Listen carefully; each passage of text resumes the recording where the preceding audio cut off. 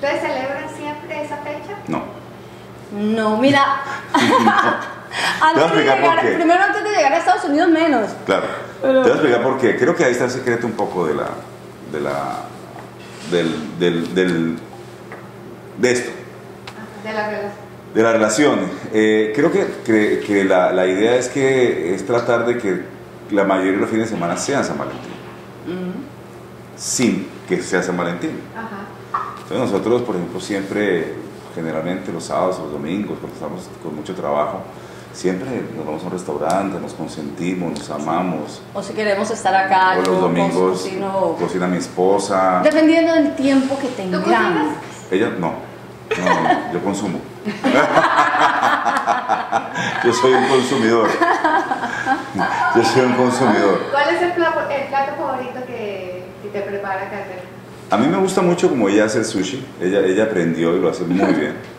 Ella lo aprendió a hacer en Bogotá y, y la verdad es que... De las primeras cosas, ¿no? Sí, se hizo el curso y, y Yo no me sabía encanta, cocinar nada. me encanta cómo me lo hace. Eh, esto fue un poco muy, muy rápido, muy improvisado, pero pues, eh, Claro. pero ella, por ejemplo, eh, a veces, a veces, por ejemplo, estoy así como en la piscina de la casa y llega ella con una bandeja así, con una, con un barquito Me faltó sushi. ¿Qué? ¿Qué te faltó? Me ¿El faltaron, me faltaron las fresas con chocolate que las homemade, ¿Dónde que están? las hice y las decoré yo. ¿Dónde están las fresas? Esperen, Ok, sigue hablando.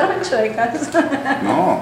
Miren, yo creo que el secreto de la cocina, mi mamá siempre decía que a los hombres se les conquista por el estómago. Yo no sé si tenía razón o no tenía razón, pero a mí me ha ido muy bien con eso. Yo no sabía cocinar absolutamente nada cuando me fui de mi casa. Yo vivía con mi papá, mi mamá, mis hermanitos.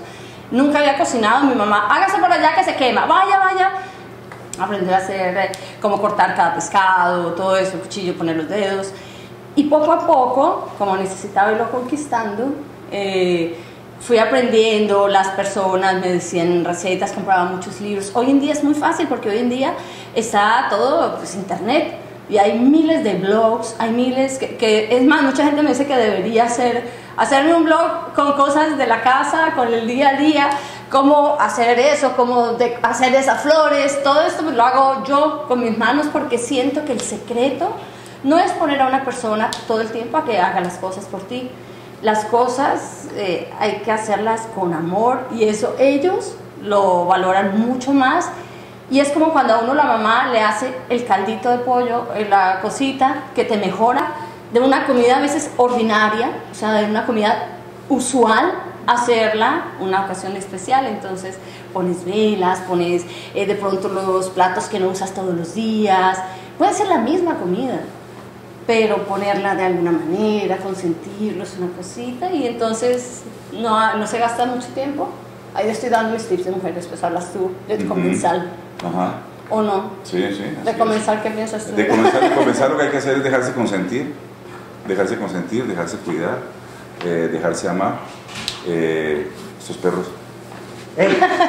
¡Ya! Tenemos hijos perros, tres que no pueden estar aquí en la entrevista porque Se tenemos uno bebé, no, no, no. el chiquito del Sí, sí. Entonces media entrevista regañándolos, pero... Así es.